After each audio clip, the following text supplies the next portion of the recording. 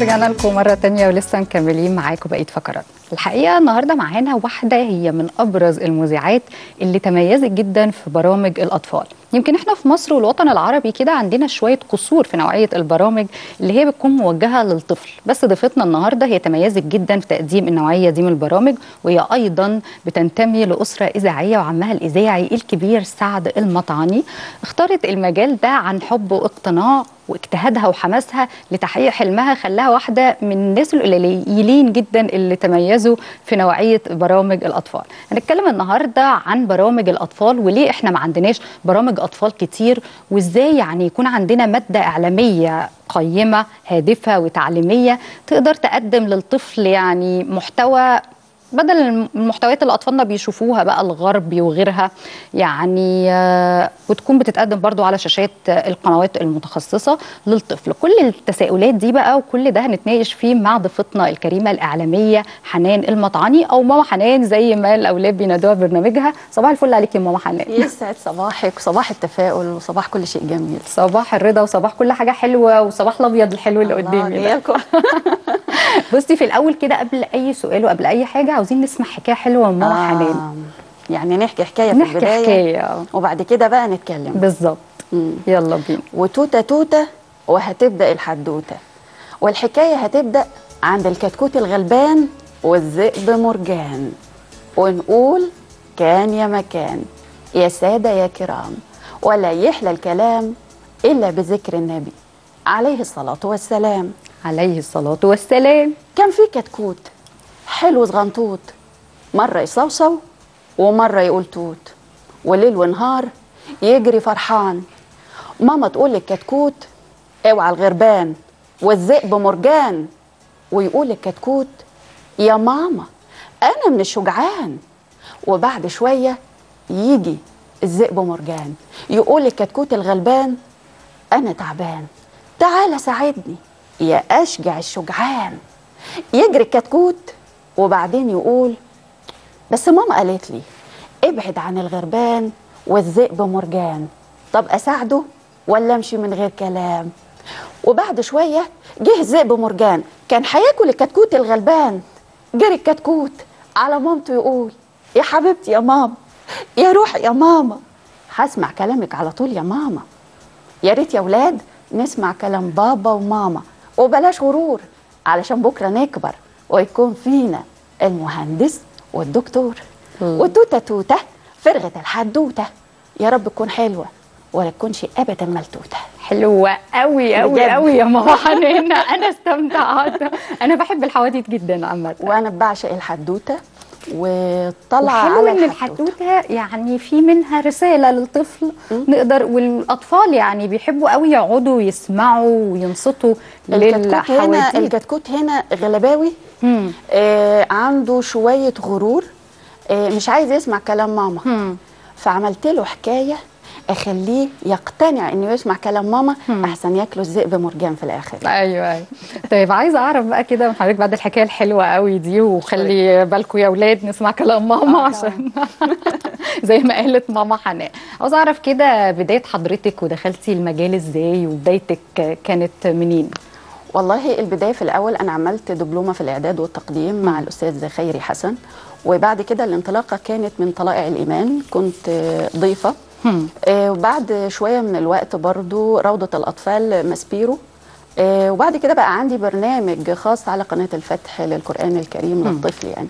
وحضرتك يعني من ساعة ما بدأتي وإنتي برامجك آه برنامج مخصصة للأطفال. آه آه. بالفعل ما- حبيتش اني اغير برنامج الطفل واكون في اي برنامج تاني. طب شايفة الاعلامي المفروض يكون أو المذيع أو مقدم برنامج إيه الأدوات اللي محتاجها عشان يقدر إن هو يقدم برامج أطفال أو يخاطب الأطفال؟ اولا لازم يكون بيحب الطفل. هم. لأن برنامج الأطفال على قد ما هو جميل جميل وممتع بس ممتع للي بيحبه. آه انت هيقعد قدامك طفل غلباوي. طفل ذكي ذكاء آه، مرعب. وهنا هقف عند نقطة وبعد كده هكمل.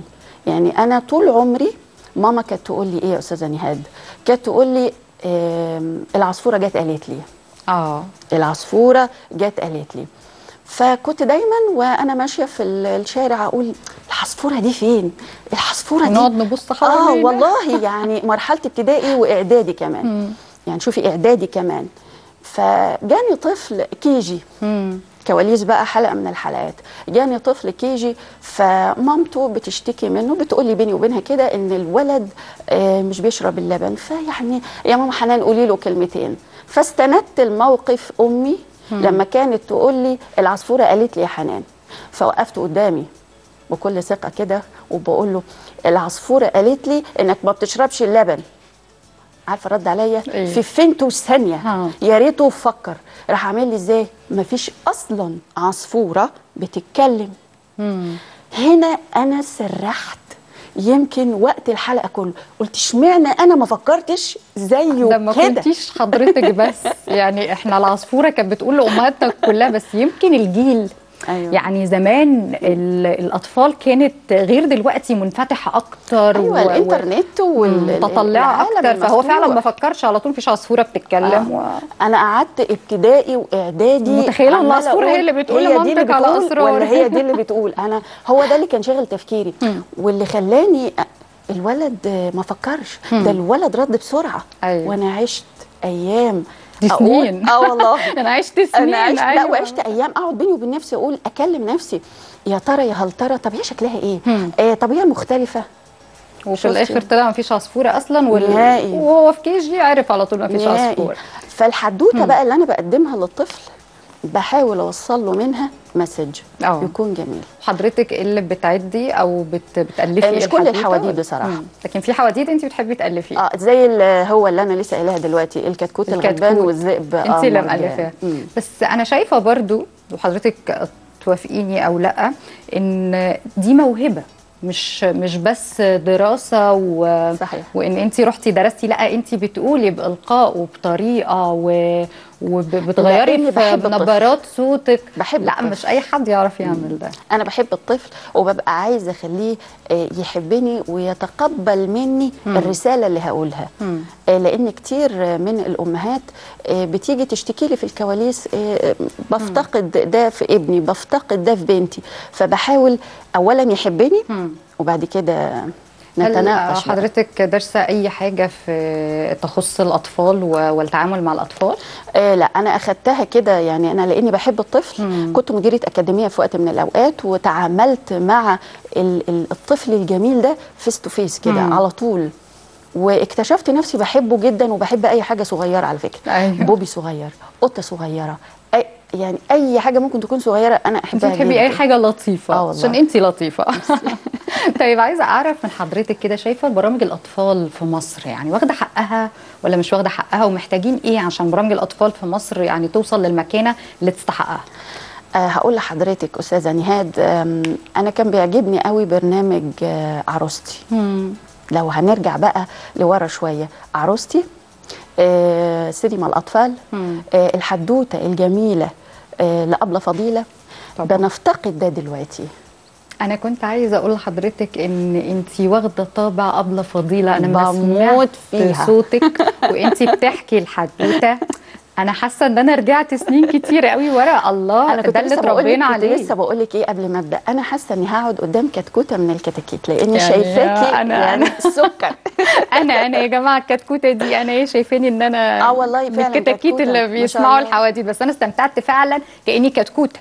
خلاص ماشي. لا والله وانت كتكوتة فعلا. ومين فينا مش بيحب الحدوتة؟ حتى الكبار على فكرة. ببص ألاقيهم يعلقوا في الكومنتات مم. لما انزل حكايه. ويقولوا لي الله. فأعرف. إن آه، إن الحكاية بس مش آه، مم. للمزائرد الصغير. لا ده الكبير كمان. كبير بيسمع. آه. لأن أنا برجعه لإيه؟ للزمن آه هل. حضرتك بقى بيبقى قصدك تاخدي نفس النمط وأسلوب ابله فضيلة ولا ده اسلوبك حابة انتي إن أنا أعمل أطور شوية آه طورتي آه حابة آه. إن أنا أطور شوية في الشكل وفي المضمون بتاع مم. الحكاية آه، علشان برضو أنا بحب الطفل هرجع برضو لنفس مم. النقطة بتاعتي أنا عايزة أعمل كل حاجة لحبيبي الصغير مم. تنفعه بكرة وأكمل بيها بقى الله. يعني حاجة جميلة جدا. طب برضو عايزة أعرف من حضرتك إيه إيه اللي إحنا محتاجينه عشان نوصل لمكانة محترمة لبرامج محتاجين نعمل الأطفال. برنامج آه. وبرامج للأطفال بتعدل في سلوكياتهم. ولادنا دلوقتي اختلفوا تماما تماما عننا زمان. تمام. بس علشان أكون برضو ما بظلمش الطفل ده إحنا زمان ما كانش في عندنا الانفتاح بتاع دلوقتي. بالظبط. أنا ك- يعني المعلومة كنت باخدها من أستاذتي كنت باخدها من أمي من أبويا. دلوقتي إنما لا الولد دلوقتي- بيمسك الموبايل بتاعه أو الآيباد بتاعه وبيجيب. المعلومة على طول. آه، وممكن تكون معلومة غلط ممكن تكون معلومة مشوشة.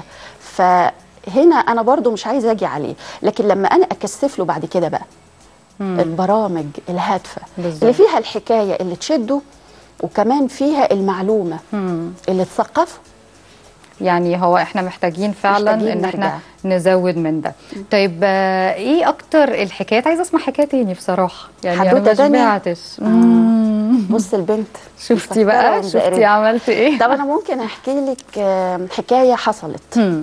حصلت آه دي حكاية الله. حصلت وحكاها آه إمام الحرم النبوي آه الشيخ إبراهيم الأخضر. آه وأنا أخدتها منه ولكن قلتها بطريقتي. الله. كتبتها بطريقة ماما حنان علشان يتقبلها الزئرد الصغير. طب يلا بينا. آم، رسالة في المنام. أو نقول اللهم ذكرني رسالة في المنام. يعني علشان أنا مش أيوه أنا أنا أجيب. فاجئتك فاجئتك فاجئتك جدا طب إيه أكتر حاجة كده على ما تفتكري إيه أكتر حاجة بتعجبك دلوقتي في برامج الأطفال في برامج جميلة بيبقى فيها مسابقات مم. اللي فيها مسابقات آه بتثقف الولاد قوي مم.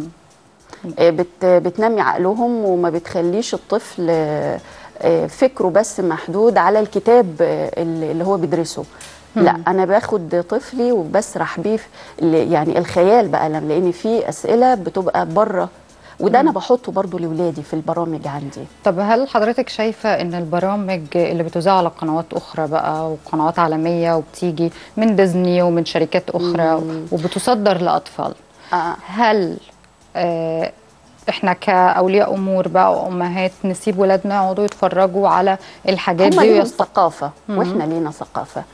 بس آه، ما فيش دلوقتي طفل ما بيتفرجش على الحاجات دي. آه وللأسف كان في كرتون مسيء نازل آم، ده عمل عندي ذعر بصراحة لأن ولادنا لما بيتفرجوا على الكرتون آم، أنا ببقى مطمنة إنه بيشوف حاجة يعني سهلة يعني على ودنه. آه، لما تنزل له بقى إعلانات مش كويسة آه، جوه الكرتون. ده خلاني أحس إن أنا طفلي طفلي أنا مستهدف يعني. طفل بكرة ده آه، لأ آه، لازم أخلي بالي قوي وأسلط الضوء عليه. أكيد. ده وده وغير الإعلانات ال- المحتوى نفسه بتاع الفيلم أو قصة الفيلم بتلاقي فيها مشاهد وعبارات ملهاش أي علاقة بال- بسياق الفيلم وبتنزل فيه. ويعني هل يعني أنا المفروض إن أنا أوعي ابني لا إحنا ما عندناش ده ولا أسيبه يتفرج ولا أمنع أصلا إن هو يتفرج على لا أبتدي أفهم بقى ان إن اللي أنت شايفه ده غلط. مم. آه، مش دي ثقافتنا ولا دي دي أخلاقنا. و- ونبتدي بقى نعزز من الكرتون. إحنا وقفنا لحد بكار. مم. آه، لحد إيه تاني ال- سمسم بقى وال- آه بس يعني اللي كان شادد الطفل قوي مم، كان بكار. أيوه. وقبله كان بوجي وطمطم بوجي وطمطم آه.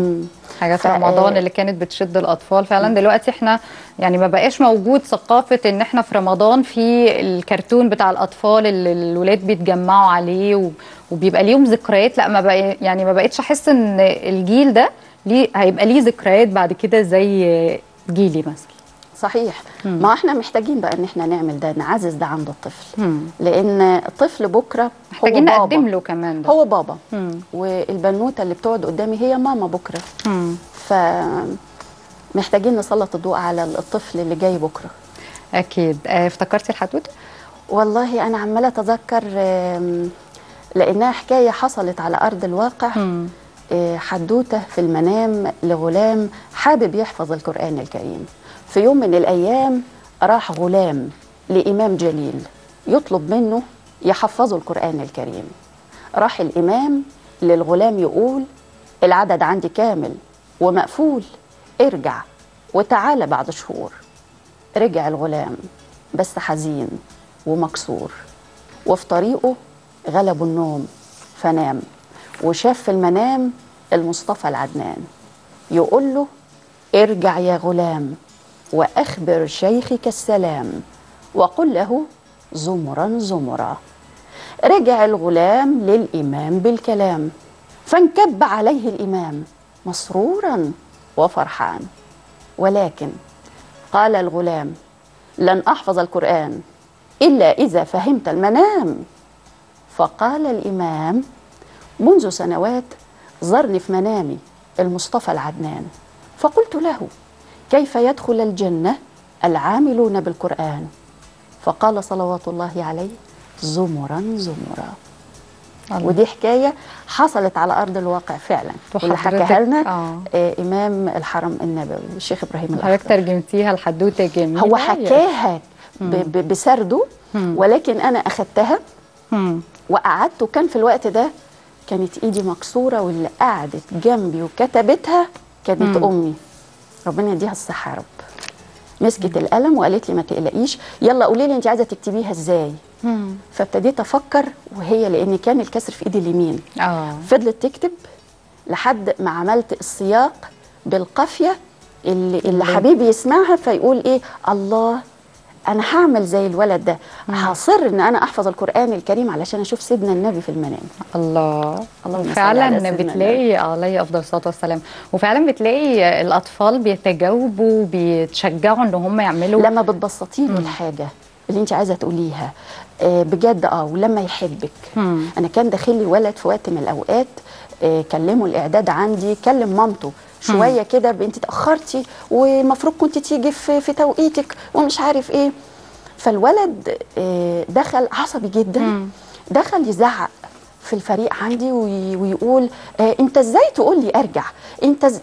إحنا كنا زمان ما نقدرش صوتنا يعلى.